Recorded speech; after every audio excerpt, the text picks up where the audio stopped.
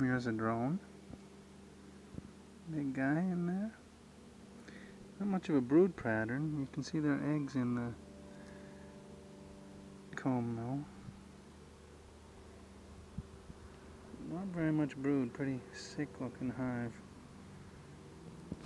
But they have seemed to recovered from the chalk brood.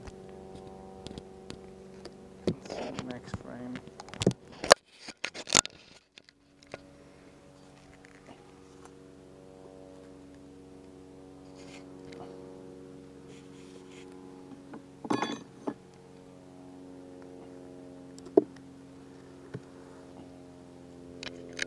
A bit better, but still pretty stinky brood pattern. Lots of eggs in there. It's a good sign. Maybe that'll improve improve the spotted brood. There's the queen there. You can see her wandering around, looking for a place to lay.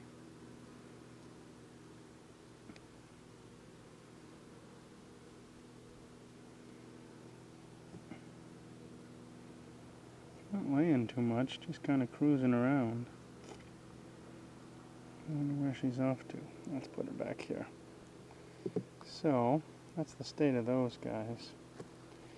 Not much honey. Not very nice brood pattern. Still a little bit of chalk brood in the hive.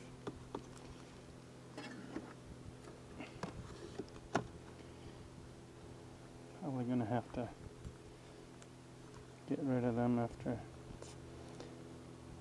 this year, but let's just see how they do. See how they do over the winter, or over the rest of the summer. Don't think I'll get anything in that honey super, but we'll put it on there just in case. And come alive. Well, there's a lot of eggs, so that's it for